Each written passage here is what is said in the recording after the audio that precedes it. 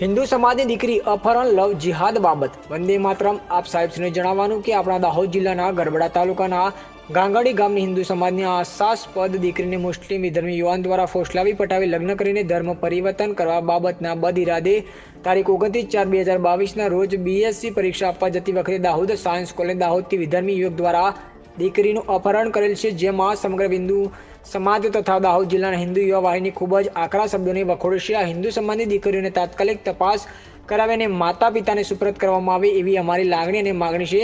આપ સાહેબશ્રીને વિનંતી કે અમારી લાગણી અને માગણીને યોગ્ય ન્યાય મળે અને સમગ્ર દાહોદ જિલ્લામાં ઉગ્ર વિરોધ કરી આક્રાત્મક આંદોલન કરવાની ફરજ પડે, આવી જિહાદ માનસિકતા ધરાવતા તત્વો દ્વારા નાની નાની બાબતોમાં ગુજરાત શાંતિ દોરવાનો પ્રયાસ થાય છે. તેને દાહોદ જિલ્લાના હિન્દુ યુવા વાહિની સહન નહીં કરે.